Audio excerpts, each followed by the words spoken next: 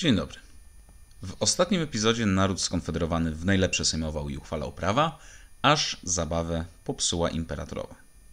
Soldateska dostaje rozkaz ataku. Konstytucji trzeba bronić orężnie.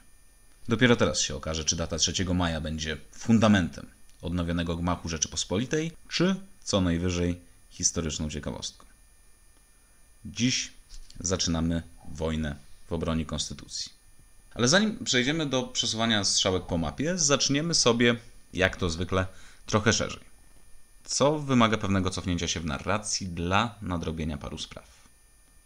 Rok 1791 był bowiem, jak na ówczesne standardy, w konstytucję wyjątkowo obfity. 3 września ustawę zasadniczą przyjęło francuskie Zgromadzenie Narodowe. 13 września jego królewska mość Ludwik XVI był uprzejmy zatwierdzić akt własnoręcznym podpisem. Co stało w Konstytucji, podobnież nie będzie szczególnym przedmiotem naszego zainteresowania. Kto ciekaw sobie bez problemu wyszuka. W dużym skrócie, wprowadzono zasady suwerenności narodu i trójpodziału władzy. Legislatywą jest jednoizbowe zgromadzenie prawodawcze wybierane na dwuletnią kadencję. Naród dzieli się na obywateli czynnych i biernych, głosują tylko ci pierwsi. Cenzusy majątkowe mają w założeniu postawić tamę zbytniej radykalizacji. Egzekutywę sprawuje król jegomość i powołane przez niego ministerium, judykaturę wybieralni i kadencyjni sędziowie urzędujący w sądach cywilnych i karnych. Na poziomie lokalnym podziały feudalne zastępuje się eleganckim, nowoczesnym podziałem na departamenty. Historycy krytykują przyjęty porządek przede wszystkim pod kątem poziomu zagmatwania relacji pomiędzy władzą ustawodawczą i wykonawczą. Król z jednej strony nie ma samodzielnej i równorzędnej pozycji ustrojowej, która by mu pozwoliła na jakąś bardziej konstruktywną działalność, ale z drugiej dostają mu się jednak pewne kompetencje pozwalające na wyjście poza rolę kwiatka u kożucha. Sam się w temacie nie wypowiem, ale warto odnotować, że podobne zarzuty były dosyć długo podnoszone w stosunku do naszej aktualnej konstytucji z 97. Chociaż akurat ten problem ustrojowy panowie Tusk i Kaczyński rozwiązali bardzo chytrze, bez potrzeby grzebania w aktach ustrojodawczych. Co ciekawe, dzień po przyjęciu konstytucji pani Olimpia de Gouges postanawia wyznaczyć postępowi nowe szlaki, ogłaszając deklarację praw kobiety i obywatelki. Deklaracja, kto by się spodziewał, specjalnie nie chwyta. Francuzi mogą sobie ruszać z posad bryłą świata, mogą uderzać we wszelkie świętości, monarchię, feudalizm, nawet kler, ale przyznawać prawa kobietom, no, no nie, no są jakieś granice lewactwa. Pani Olimpia dwa lata później kończy żywot na gilotynie, aczkolwiek, jeżeli dobrze zrozumiałem, kluczowa tu była jej afiliacja przy Żyrądzie, a za pretekst posłużył dosyć naciągany zarzut zamierzonej restytucji monarchii. Koniec dygresji. No to mamy wrzesień 1791. Król jeszcze niedawno pisał jakieś manifesty, spacerował nie wiadomo po co przy granicy z Belgią i trzeba go było siłą wieźć do Paryża. Ale temat w końcu przycichł. Zamknęliśmy na dobre feudalizm. Mamy nową konstytucję, nowy ustrój, nowe rozdanie. Możemy kończyć rewolucję i pod rękę z królem obywatelem ruszać do normalnego zarządzania państwem. Właśnie. Nowy początek. Jeszcze w maju pan Maksymilian Robespierre wystąpił z inicjatywą wyłączenia aktualnych członków konstytuanty z możliwości ubiegania się o mandaty w nowym zgromadzeniu prawodawczym. Założenie było bardzo ciekawe. Reprezentanci, pisząc prawa, powinni mieć świadomość, że sami będą tymi prawami rządzeni jako szeregowi obywatele. Raz, wykluczy to kierowanie się własnym interesem politycznym przy wzniosłym dziele kształtowania nowego ustroju. Dwa, zapewni szczególną staranność przy tworzeniu mechanizmu, który się musi okazać sprawny nawet bez nadzoru konstruktorów. Nie, że wypuszczamy jak jest, bo się spieszy, a potem się wypuści jakieś pacze. Czego Robespierre już nie powiedział, a co się przewija w spekulacjach, taki układ wykluczał z gry ówczesną polityczną wierchuszkę o skłonnościach umiarkowanie monarchistycznych. Propozycja w każdym razie została przyjęta. Efekt uboczny jest taki, że w nowym ciele prawodawczym zabraknie ludzi poczuwających się do zaciętej obrony przyjętego porządku jako własnego dzieła. Stąd i sama konstytucja za długo nie przetrwa, ale nie uprzedzajmy faktów. W zgromadzeniu zasiadają teraz politycy zaprawieni w bojach o wdrażanie zasad rewolucji na poziomie lokalnym. Jak nie trudno założyć, bardziej radykalnie od poprzedników, chociaż na chwilę obecną ta dysproporcja nie jest aż tak wyraźna. Z 745 delegatów, większość pochodzi z klasy średniej, znajdzie się kilku pojedynczych ziemian i księży. Po prawej siadają fujanci, rozłamowe umiarkowane skrzydło Jakobinów, po lewej sami Jakobini, razem z powoli odłamującymi się żyrondystami, reszta gdzieś po środku, ale w głosowaniach to centrum ciąży raczej do lewej. Nowa konstytucja, kto by się spodziewał, nie załatwia starych problemów. Polska konstytucja się nie podoba Targowiczanom, francuska też nie wszystkim do gustu przypada. Hrabia Prowansji, późniejszy Ludwik XVIII, usadowiwszy się w Trewirze, ogłasza się regentem królestwa. Historia niestety nie odnotowuje, czy to ogłosił ze schowka na szczotki. Tymczasem knuje jak może, powołuje rząd na emigracji, koresponduje z monarchami, zbiera armię, zapowiada zbrojną interwencję. I niezależnie od rzeczywistych efektów uskutecznianej tromtodracji, emigranci stawiają się w pozycji wspólnego wroga, którego bardzo łatwo obwinić o wszelkie niedostatki. Stonkę zrzucaną na kartofle, czy co tam jeszcze. Aktualnie do takich trudności zaliczają się umiarkowanie pomyślne zbiory i spadek wartości papierowej waluty.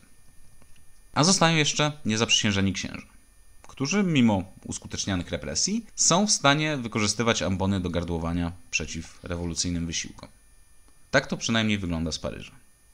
Sprawie nadają rozgłosu dosyć krwawe zamieszki między rewolucjonistami i papistami w świeżo anektowanym Awinionie. To jest dłuższa historia, którą sobie pozwolę pominąć. No to odpalamy naszą nowiutką i lśniącą ustrojową machinę do zaradzania obu trudności. W listopadzie zgromadzenie nakazuje aktywnym emigrantom powrót do ojczyzny do dnia 1 stycznia pod groźbą konfiskaty dóbr i kary na gardle. Dalej Wszyscy niezaprzysiężeni dotąd księża w ciągu 8 dni zaprzysięgną wreszcie konstytucję cywilną kleru albo utracą pensję, w ostateczności zostaną deportowani. Dura lex. Król jegomość oba dekrety wetuje. Bo może. Uchwaliliście panowie konstytucję. Przyjęliście wymarzony ustrój, w którym król współpracuje z parlamentem dla osiągnięcia optymalnego rezultatu. Monarcha, jako czynnik stabilizujący, ma studzić zapały i powstrzymywać nieprzemyślane inicjatywy. No to współpracuję. Weto. Nie będę własnych braci straszył szafotem. Od kleru przy okazji też się proszę odczepić. Z własnej inicjatywy król kreśli natomiast list do brata i faktycznie go do powrotu namawia, jak nie trudno zgadnąć, bez efektu. Królewskie weta, znów kto by się spodziewał, nie przypadają do gustu szerokiej publice. Ale zostaje przystąpić do rozmów. Pod koniec listopada do króla fatyguje się deputacja zgromadzenia. Okej, okay. nie chcesz, wasza królewska mość, grozić swoim braciom? Niech ci będzie. Ale mógłbyś się chociaż zdobyć na stosowne pogrożenie ich gospodarzom. Król deputację przyjmuje, siada w fotelu, myśli, po głowie się drapie. Po dwóch tygodniach osobiście fatyguje się na obrady. I obwieszcza, że złożył księciu arcybiskupowi Trewiru ultimatum jeżeli ten do dnia 15 stycznia nie położy kresu wszelkiej wrogiej działalności emigrantów ze swojego państewka, Francja wypowie mu wojnę. Wybuch entuzjazmu. Naród przystępuje do zbrojeń. Elektor Trewiru, na marginesie syn naszego Augusta III, znaczy polski królewicz, ultimatum dostaje. Namyśla się głęboko, uznaje, że ma tylko jedno wyjście. Przepędzić emigrantów w cholerę. Będzie skazana prestiżu, trudno, gra nie jest warta świeczki. Podobnie postanawia zresztą elektor Moguncji. 2-0 dla Francji. Ale jest jeszcze cesarz Leopold II. W tym momencie wciąż wśród żywych. Mniej więcej w tym samym czasie, co odpowiedź elektorów, do Paryża dociera jego pismo. Cysarz Pan obwieszcza wszem wobec, że jeżeli Francuzi poprą zbrojnie swoje groźby wobec szanownych biskupów, Austriackie armie dostaną rozkaz wymarszu, a cesarz nie wątpi, że inni monarchowie pójdą w jego ślady. Od tego jest w końcu cesarzem, żeby granic cesarstwa zbrojnie bronić. Czemu tak, a nie inaczej?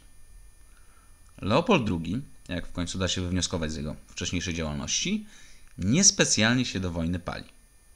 Dwa lata wcześniej skapitulował przed Fryderykiem Wilhelmem. Swojemu francuskiemu szwagrowi i jego krewnym też wszelkie śmielsze akcje zdecydowanie odradza. Wie skądinąd, że Wielka Brytania nie jest specjalnie zainteresowana interwencją, a to jest dosyć istotny argument przeciwko Grzewa Bank. No ale spójrzmy na ostatnie wydarzenia z perspektywy austriackiej. Ludwik XVI ucieka z Paryża, zostaje złapany, odesłany do pałacu. Leopold wydaje okulnik paderski. Grozi palcem, wymachuje szabelką. I nagle się okazuje, że Ludwik został po prostu porwany. Zresztą osoba królewska jako nietykalna nie może w ogóle odpowiadać przed sądem. Włos mu z głowy nie spada. Nie wszystkim się to podoba. Pojawiają się hasła republikańskie, wybuchają zamieszki na polach marsowych. Leopold razem z Fryderykiem Wilhelmem ogłaszają deklarację pilnicką. Grożą palcem, palcami, wymachują szabelkami i Francuzi przyjmują konstytucję, w której Ludwik XVI dostaje pozycję wcale przyzwoitą. Znaczy, groźby działają. Ewidentnie. Jak się trochę lepiej przyjrzeć ciągowi przyczynowo-skutkowemu, to ten wniosek się może okazać dosyć mocno przedwczesny. Ale widańskie ministerium woli widocznie sądzić po owocach. To też Leopold idzie za radą swoich dyplomatów i stonu nie spuszcza. Z przyczyn sobie wiadomych wyraźnie go utwierdzają w tej linii Prusacy. Cesarzowi do głowy nie wejdę. Zresztą teatr zachodni researchuje znacznie płycej niż polski, więc możliwe, że wyjdę tu ze swoimi autorskimi przypuszczeniami za daleko. Ale zdaje się, że cesarz pan to widzi trochę na zasadzie gry w tchórze. To była ponoć swego czasu całkiem modna zabawa wśród młodych degeneratów za oceanem. W przykładowym wariancie wyskakujemy na tory przed rozpędzony pociąg, który ucieknie pierwszy ten tchórz. Wiadomo, że i tak trzeba będzie uskoczyć. Cała zabawa polega na tym, żeby pokazać większy kochones niż koledzy. I tak może sprawy widzieć Leopold II. Ani my, ani wy przecież nie chcemy wylądować pod tym pociągiem. Ale to wy uskoczycie pierwsi.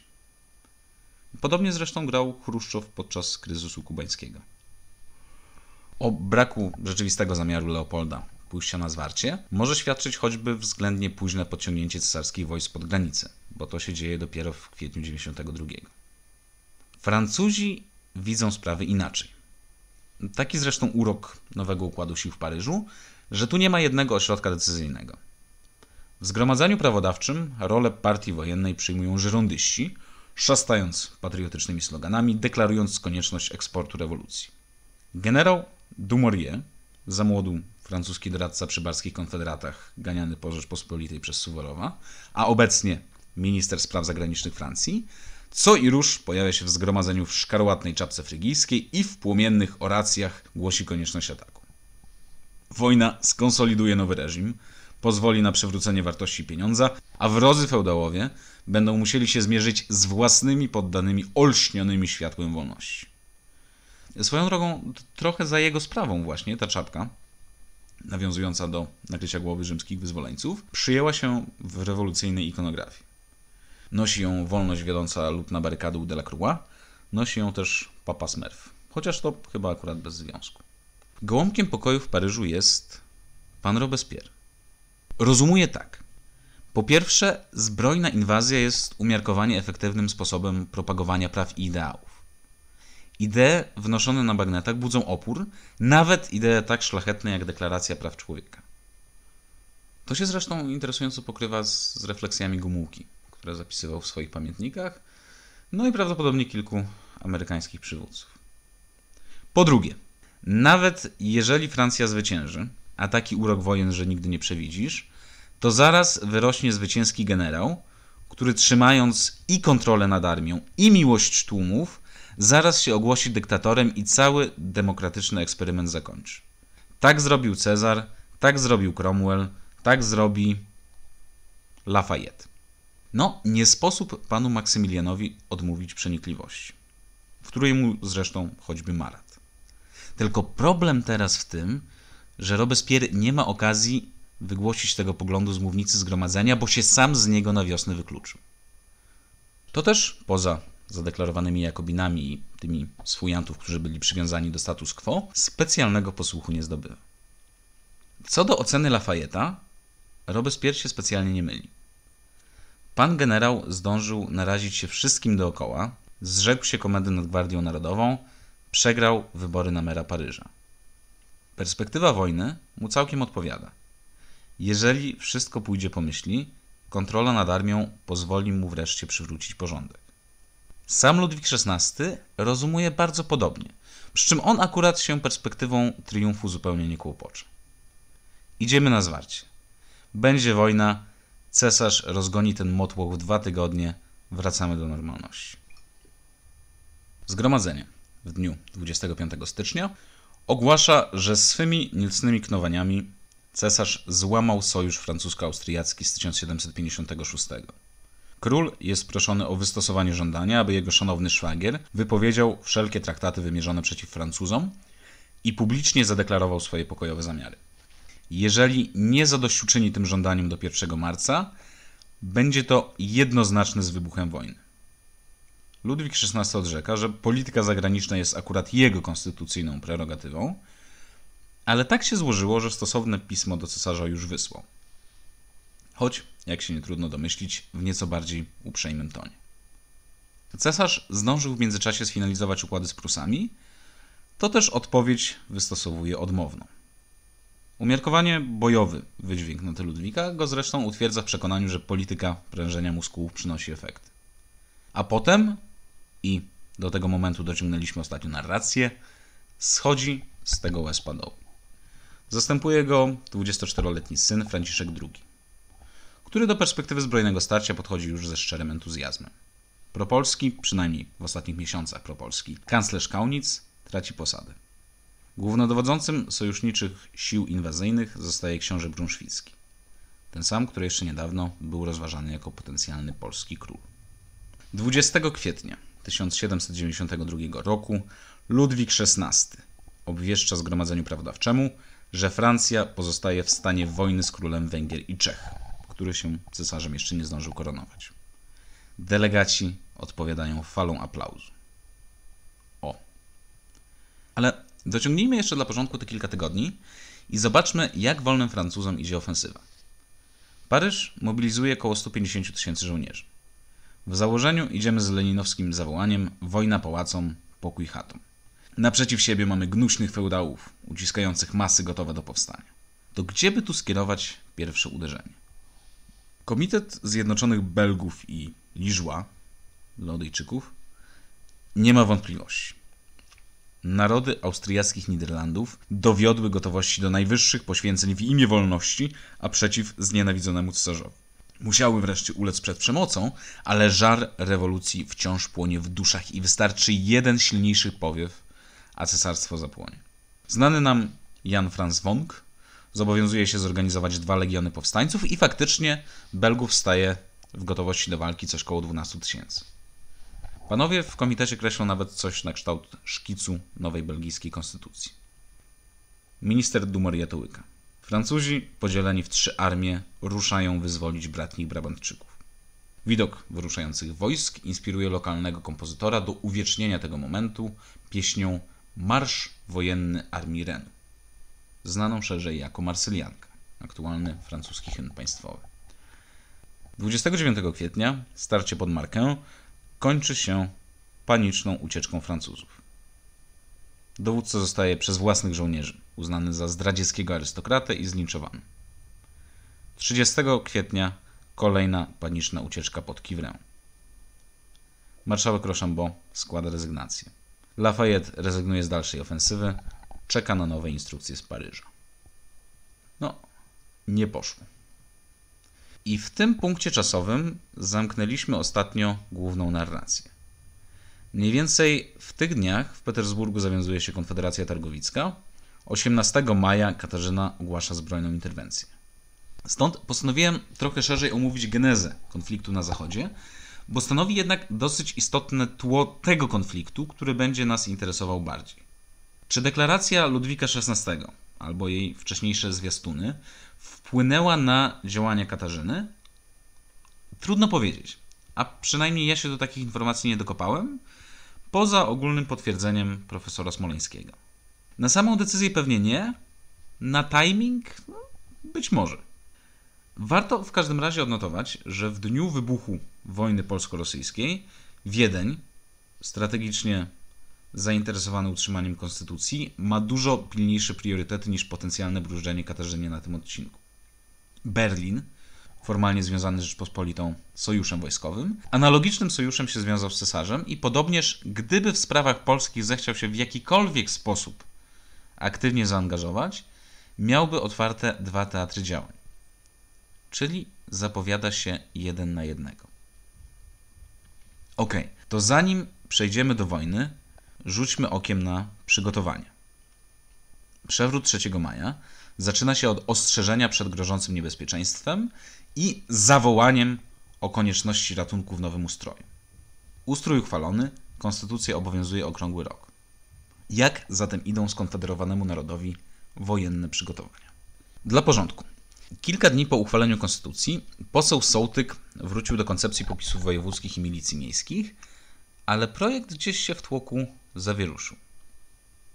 Ani go Sejm nie poparł, ani nie zastąpił czym innym. Uzasadniano to później paralelą do sytuacji nad Sekwaną. Przewrót rządowy w zestawie z uzbrojeniem obywateli mógłby stanowić jeszcze lepszy pretekst do interwencji. Przy okazji patrioci obawiają się radykalizacji mieszczan, król obawia się opinii szlacheckiej. Obawy pochwala i jak może za ognia Lukczezini. Zresztą, nawet gdyby pójść w tym kierunku, to mieszczan trzeba by jeszcze uzbroić, a arsenały akurat w szwach nie pękają. Kołątaj nalega na wezwanie z zagranicy znanego nam generała Kumarzewskiego. Król, trudno powiedzieć dlaczego, nie ulega. Sama komisja wojskowa ma 18 członków i w praktyce rzadko się w ogóle udaje zebrać na niej kworum. Stąd wyszło tak, że jest mocno zdezorganizowana. Sprawy wewnętrzne w Rzeczpospolitej zostawiliśmy gdzieś w okolicach sejmików lutowych. Mniej więcej w tych okolicach pojawiają się kwestie skarg szlachty kurlandzkiej najchniejszego księcia, Sejm roztrząsa kwestie kodyfikacji praw cywilnych i karnych, deliberuje nad regulacjami dla ludności żydowskiej. Kto ciekawy, odsyłam do pracy Smoleńskiego Ostatni rok Sejmu Wielkiego. Ja po prawdzie tego szczególnie ciekawym nie znajduję. W kwietniu odbywają się wybory municypialne. Udaje się uzyskać papieskie brywy, przenoszące uroczystość świętego Stanisława na 3 maja. A w międzyczasie spływają wiadomości o rosyjskich przygotowaniach wojennych. 11 kwietnia pisze król jegomość. Urzędownie upiera się dotąd imperatorowa milczeć względem nas, a tymczasem wojskiem swojem nas otacza i pogróżki zewsząd na nas dolatują. Mam rację spodziewać się, że Wiedeń i Berlin uiszczenie gwałtów przeciwko nam wielce jej odradzać będą, ale tymczasem pamiętne przysłowie. Wołaj do wszystkich świętych, a pływaj tymczasem sam jak możesz najlepiej. 16 kwietnia o koncentracji wojsk rosyjskich donosi Sejmowi Chreptowicz. Sejm postanawia zakomunikować dworem europejskim deklarację o gotowości Rzeczpospolitej odpierania najazdu, władzy zaś wykonawczej polecić przedsięwzięcie środków obrony. Król ma użyć władzy swojej w całej rozciągłości ku opatrzeniu obrony narodowej przez takie siłami zbrojnymi Rzeczpospolitej kierowanie, jakie najskuteczniej odpowiadać może celowi. Sprowadzi z zagranicy doświadczonych generałów, artylerzystów, inżynierów. Komisja Skarbowa zanegocjuje kredyt na 30 milionów, zabezpieczony na środkach ze sprzedaży starostw. Król może podnieść zaraz sum skarbowych 9 milionów, resztę podczas wojny aktualnej. Ministrowie zdadzą sprawę z wydatków po upływie dwóch miesięcy. Kilka dni później król dostaje depeszę od Debolego z potwierdzeniem zbliżającej się inwazji i roli malkontentów w tejże, informacjami o dyslokacji i sile korpusów, nazwiskach dowódców. 21 kwietnia król odczytuje wyjątki z pisma na Sejmie. Posłowie uchwalają podniesienie stanu wojsk do 100 tysięcy i zaprzysiężenie 20 oficerów ze służby zagranicznej. W kolejnych dniach Sejm proceduje nad opisem Komisji Wojskowej. Po długich deliberacjach odkłada decyzję na później. Podobnie z projektem ratu wojska.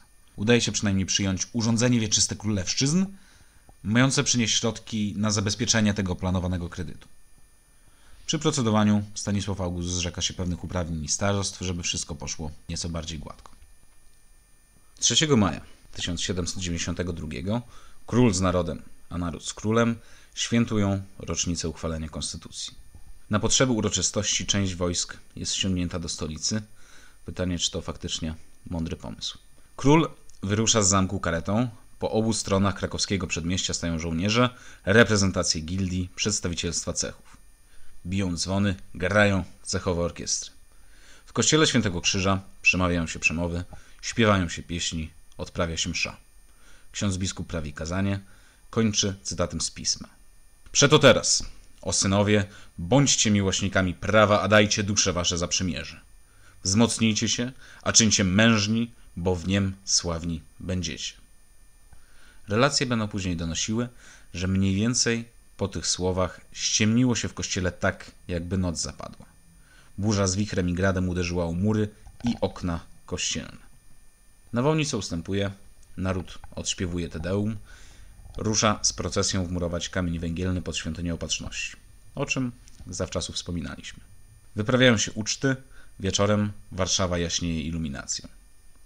Teatr wystawia Kazimierza Wielkiego, według Niemcewicza. Na scenie król Kazimierz deklamuje potrzebie stanę na czele narodu mego. Z loży król Stanisław woła Stanę i wystawię się. Wiwaty, okrzyki, oklaski. Na kolejnych sesjach sejmowych przechodzą pomniejsze zarządzenia wojskowe, uchwala się pokrycie szkód w majątkach obywateli nadgranicznych z podatku nałożonego po wojnie.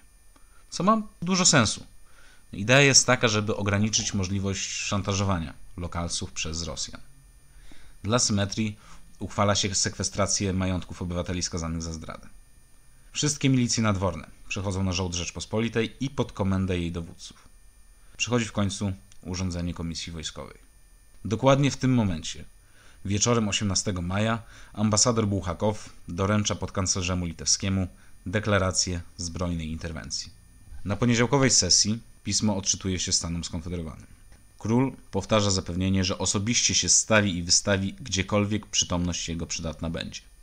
Zaleca odwołanie się do alianta pruskiego, do króla saskiego jako niedoszłego monarchy i do króla węgierskiego jako zainteresowanego sąsiada. Gdyby się dały jeszcze znaleźć i inne drogi, przez które by otworzyć się mógł wstęp do traktowania raczej piórem niż orężem, żadnego by odrzucać, żadnego by zaniedbywać nie należało. To raczej piórem niż orężem będzie potem królowi dosyć długo wypominane. W świetle okoliczności Sejm w trybie przyspieszonym kończy procedowanie otwartych spraw. Dyzunicki i Kurlandzki. Znów szczegóły odpuszczam. W założeniu obie uchwały miały zmierzać do zyskania przychylności poszczególnych użytecznych interesariuszy. Interesariuszom starozakonnym swoich postulatów się tak gładko przepchnąć już nie udało, nawet mimo oferty wzięcia na utrzymanie dwóch pułków wojska. No, priorytety. Na kolejnych sesjach Sejm przyjmuje deklarację względem stanu teraźniejszego Rzeczpospolitej, ogłaszając współpracowników wojsk rosyjskich za nieprzyjaciół ojczyzny i powołując ekstraordynaryjny sąd sejmowy. Dalej wyznacza sumę 1,5 miliona złotych na wynagrodzenie żołnierzy wykazujących się szczególną dzielnością. Przyjmuje nowy etat wojskowy, podnosi podatek z dóbr ziemskich, duchownych i świeckich o 10%, nakłada drugie podymne na małe dziedzictwa i miasta wolne, drugie półpodymne na Włościan, na Żydów drugie podymne i trzecie podymne. Z pensji cywilnych potrąca się 10%. Sejm wyznacza oficera dla organizacji ochotniczych strzelców kurpiowskich, upoważnia króla do uzbrojenia wszystkich obywateli, oddaje mu komendę sił zbrojnych z prawem wydawania rozkazów armii i komisji wojskowej, decydowania o rozejmach, kapitulacji, wymianie jeńców, dozwalaniu przechodu posiłkom obcym itp., z wyjątkiem zawierania pokoju. Przyznaje mu dodatkowo 2 miliony na kasę obozową. 29 maja posłowie jednomyślnie przyjmują akt limity. Przestańmy zawołuje marszałek Sapiecha, pisać prawa, a pójdźmy ich bronić. I na tym, panie i panowie, kończy się historia Sejmu czteroletniego. Sejmu zwołanego w 88 na standardowe kilka tygodni dla podniesienia liczebności i zabezpieczenia finansów na wojsko. Po drodze wydarzyło się sporo. Teraz, po czterech latach burzliwych obrad, zajrzyjmy do skarbca i do koszar. Profesor Smoleński, za podskarbim litewskim nazwiskiem Dziekoński, podaje, że w skarbie złączonym obojga narodów na wojsko i wszelkie potrzeby rozpoczętej właśnie kampanii wojennej znalazło się 1,3 miliona złotych. Profesor Łojek, za sprawozdaniami Komisji Skarbowej, podaje kwotę nieco wyższą 2,8 miliona. Dla porównania, roczny budżet armii pruskiej to w przeliczeniu około 75 milionów złotych, rosyjskiej 250 milionów. W skali roku budżet polskiej armii owszem potrafił dojść do 30 milionów wydatków przy pewnym deficycie, tylko raz, że on obejmował wydatki na organizację armii praktycznie od zera, Dwa, to wciąż w ogóle nie jest ten rząd wielkości. Owszem, Sejm zalecił staranie o pożyczkę. Król o taką pożyczkę wystąpił do Holendrów, tylko że niecały miesiąc później Buchakow składa stosowne noty, a ruska inwazja się dosyć mocno przekłada na zdolność kredytową. Z pożyczki nic nie wychodzi. Chociaż profesor Łojek, omawiając przebieg negocjacji, wywodzi, jak na mój gust nawet przekonywająco, że w razie kontynuacji obrony szanse uzyskania takiego kredytu owszem były. Omówione przed chwilą uchwały skarbowe są, jakby nie patrzeć, bardzo rozsądne. Tyle, że podjęte tydzień po przekroczeniu granic przez rosyjskie wojska. Trochę późno. Nie trudno zgadnąć, że wiele nowych środków uzbierać się już nie uda. Napisze potem Stanisław August. W czasie zaczynającej się już burzy oddano mi okręt, w którym kazano pływać liczbie ludu nijakiej, ale i w setnej części tego nie mającej opatrzenia, bez którego by ani wystarczyć falom, ani dojść do portu nie było można. Król ma tu oczywiście wszelkie powody do przyjaskrawień i nad samą jego postawą jeszcze trochę podumamy, ale akurat w tym miejscu trudno mu racji odmówić. Z drugiej strony, choćby wspomniany profesor Łojek zauważa, że depesze Debolego z ostatnich miesięcy dawały podstawę do odpowiednio wcześniejszego wszczęcia alarmu, ale król wolał jednak grać na uspokojenie nastrojów. I nad tym się jednak już w tym miejscu na chwilę zatrzymajmy. Przygotowaniom skarbowo-militarnym Sejmu Czteroletniego starałem się poświęcić uwagi względnie sporo. Stąd szanowny słuchacz nie zdziwi się stwierdzeniem, że mówiąc eufemistycznie, brak tu szczególnych powodów do chwały. 3 maja przyjęto konstytucję. Nie wymagało raczej szczególnej przenikliwości zauważenie ryzyka konieczności jej zbrojnej obrony w perspektywie kilku, kilkunastu miesięcy. A jednak za wiele się nie działo. Dlaczego tak, a nie inaczej? Po pierwsze, konstytucja została przyjęta w drodze przewrotu.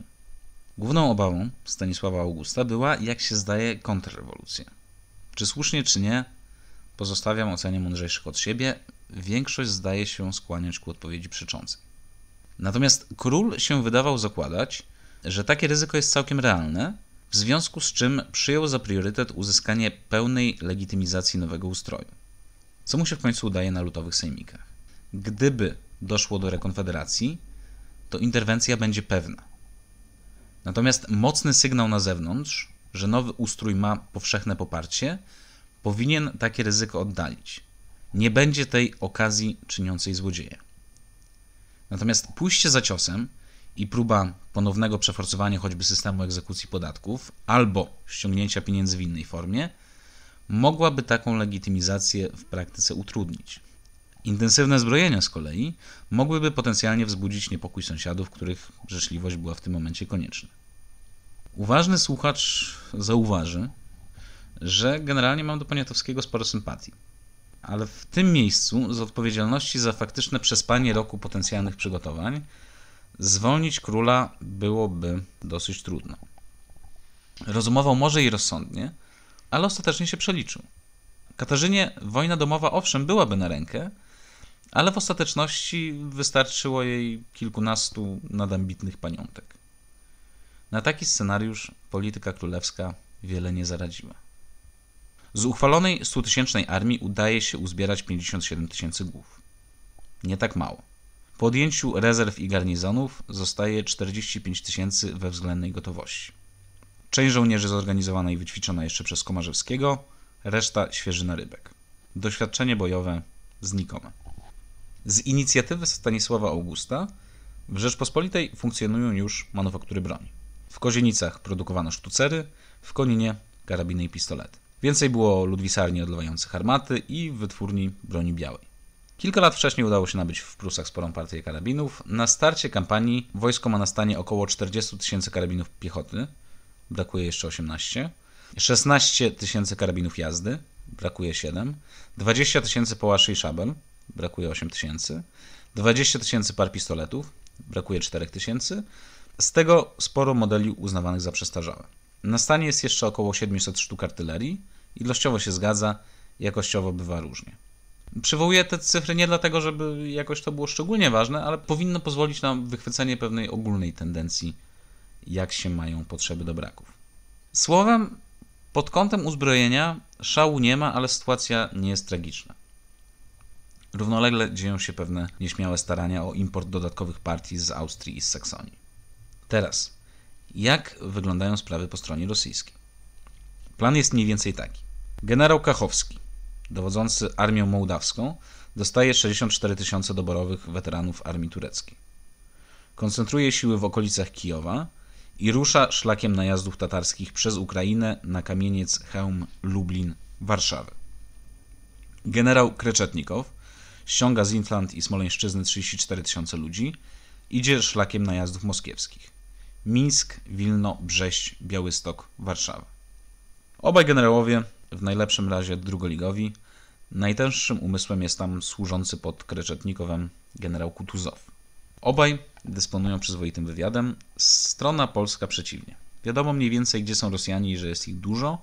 Szczegółowe informacje o rozmieszczeniu, liczbie, zamiarach wojsk zdobywane przez wywiad Straż Graniczną z przesłuchań podróżnych są fragmentaryczne, a często nierzetelne.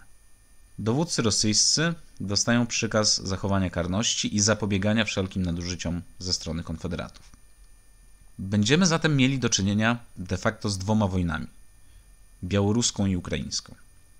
Głównodowodzącym wojsk litewskich na Białorusi zostaje książę Ludwik Wirtemberski, zięć państwa czartoryskich, niedawny kandydat do korony. Dostaje pod komendę 14,5 tysiąca ludzi. Głównodowodzącym wojsk koronnych na Ukrainie w zastępstwie Szczęsnego Potockiego zostaje książę Józef Poniatowski z wojskiem około 17 tysięcy ludzi. Książę odmawia przyjęcia komendy. To nie jest armia zdolna do obrony. Z pustego i Salomon nie naleje, a sam się książę nie bez racji za Salomona nie uważa. Dworuje sobie Zbyszewski. Trzydziestoletni książę Józef był w wojsku austriackim pułkownikiem w bitwie pod Sabaczem. Jakaś kulka drasnęła go wódą. Wystarczyło to, by w Polsce, gdzie od wieków żaden oficer inaczej jak od ciosu butelką od piwa w łeb nie został ranny, uznano go za bohatera. Przystojny, czarny, mocno łysiejący książę Józef mieszkał wspaniale. Ubierał się niezrównanie, tańczył bajecznie, całował cudownie, spółkował niezrównanie, powoził fenomenalnie. Przegrywał z wdziękiem tysiące dukatów stryjowskich. Ponieważ Nadomiar na rewi w Bresławiu skoczył na konia przez siedem armat, opinia Warszawy była zgodna, że tak znakomitego wodza jeszcze Polska nie miała. I faktycznie, facet ma 30 lat, owszem, pewne doświadczenie sztabowe, ale to nie są kompetencje do obrony Ukrainy przed trzy razy większą armią. Stryj o tym nie chce słyszeć. Raz, fajnie, ale nikogo lepszego na pokładzie i tak nie ma. Dwa, chodzi o honor kraju i honor rodziny. Trzy, komu jak komu, ale własnemu bratankowi król może zaufać, a to nie jest bez znaczenia. Cztery, to już moja prezentystyczna refleksja. Słuchałem ostatnio trochę starych wywiadów z Danem Karlinem i gość ma taką całkiem błyskotliwą refleksję, że brak zainteresowania pozycją to jest akurat dosyć dobry prognostyk przy odpowiedzialnych stanowiskach. Koniec dygresji. Tak czy siak, książę Józef w końcu komendę dostaje. Front jest zbyt szeroki, siły są zbyt szczupłe, żeby próbować zasłonić całość granic, jak to wstępnie urządzał generał Kościuszko w zastępstwie księcia. Doświadczenia austriackie ostatniej wojny zresztą pokazały bardzo wyraźnie niedostatki takiej taktyki. Zamiast tego obaj dowódcy skupią wojska w najkorzystniejszych punktach defensywnych i będą zostawać w stałej komunikacji celem osłaniania stolicy, celem zachowania szlaków zaopatrzeniowych i będą bronić się do nadejścia od sieczy. Spróbują wzmocnić wojska werbunkiem kozaków Tatarów, książę Lubomirski zorganizuje magazyny na Wołyniu i zabezpieczy tyły. Póki co ma 4,5 tysiąca wojska, może uda mu się dociągnąć do tych 5-6. Broń, amunicja i działa dotrą tak szybko, jak to tylko możliwe. Doliczając garnizon kamieniecki, całości wojsk na Ukrainie jest około 24 tysiące, pół na pół piechoty i jazdy. Przewaga liczebna Rosjan jakieś 2,5 razy. Na Litwie wojska 14 tysięcy, proporcje podobne, 4 tysiące uzupełnień będzie pchnięte z wojsk koronnych. Król w tym czasie zorganizuje zaopatrzenie i siły drugiego rzutu w sile około 8 tysięcy żołnierzy, z którymi tam się uda, gdzie okoliczności wzywać go będą. Dodatkowo korpus 30 tysięcy traktatowo zobowiązały się wystawić Prus. To też w międzyczasie pozostaje odwołać się do sąsiadów. Austria, jak się wspomniało, mierzy się obecnie z francuską inwazją. W nawiązaniu do ogłoszonej przez Sejm deklaracji gotowości obrony Rzeczpospolitej, poseł Saski Essen pisze do Drezna, że uchwała może pociągnąć za sobą nieszczęśliwe skutki i zło nieskończone. Elektor zatem, co nie powinno stanowić zaskoczenia, nie jest zainteresowany zbrojną walką o polską koronę. Zaznaczał to zresztą dosyć dawno. Podobnie Luke Cezini. W nocie jeszcze z 4 maja oświadcza, że król jego w rozpoznawaniu uchwał Rzeczpospolitej wchodzić nie może, dodając poza protokołem kilka słów w podobnym tonie. To już dla króla i patriotów mogło stanowić bardziej nieprzyjemną niespodziankę. Jeszcze pod koniec ubiegłego roku pan Lukczezini winszował Polakom nowej konstytucji. Stanisława Augusta zapewniał o wyrzeczeniu się zamiarów względem Gdańska i Torunia, ale już w lutym Kołłątaj donosi królowi, jak to mu się wypaplał Branicki, który od tegoż samego Lukczeziniego usłyszał, że nowa forma rządu nie była uzgodniona z królem pruski, stąd wolno się spodziewać, że ten się specjalnie nie będzie poczuwał do jej obrony. Pozostaje pójść krok dalej. 22 maja książę Czartoryski wyrusza do Wiednia. 25 maja Hreptowicz wręcza Lukczeziniemu oficjalne, formalne wezwanie do uhonorowania sojuszu. Nie czekając odpowiedzi, do Berlina jedzie Ignacy Potocki. Wóz albo przewóz. Jak wyglądają zatem perspektywy? Wolański, autor monumentalnej monografii o omawianej wojnie, pisze tak. Jeszcze przed stuleciem nie zważaliśmy wcale na przewagę liczebną ufni w karabele, co liczyła wrogów na bojowiskach.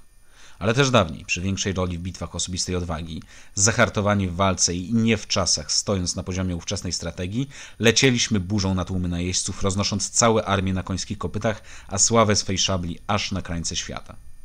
Stulecie niepojętego lenistwa i braku wiadomości o tym, co też zdziałano z naszymi granicami, dokonało swego. A tam już wszędzie zmieniło się wszystko. Decydował rozum, karność, zasoby, liczba. Odmiennie widzi sprawy Zbyszewski, autor rzekomego niedoszłego doktoratu, dokonując przy tym niecodziennej sztuki przesadzenia we wszystkie strony naraz. Mimo tych i wielu innych mankamentów, Polska była najzupełniej zdolna do prowadzenia wojny. Generałowie stary nie dojdę. Sztab z bezsensownymi planami. Złodzieje w intendenturze, kawaleria bez koni, kulawi w piechocie, zardzewiałe armaty, zbutwiała amunicja, bezchołowie zamieszanie, ależ to normalne, uświęcone tradycją rzeczy u stron wojujących. Armia była młoda, pełna zapału. Tępe, zabobonne, leniwy, zmęczony wojną z Turkami, kijem przez oficerów analfabetów pędzone żołdactwo kacapskie nie było wcale groźne. Polska miała wszelkie dane, by rozgromić katarzynowe tałatajstwo. No to zobaczymy, który z dwóch panów widzi rzeczy jaśniej.